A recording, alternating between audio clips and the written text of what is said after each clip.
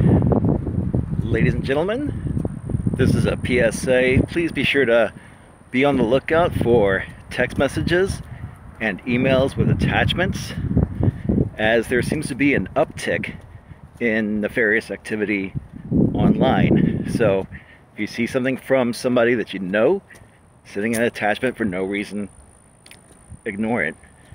That's your PSA for today.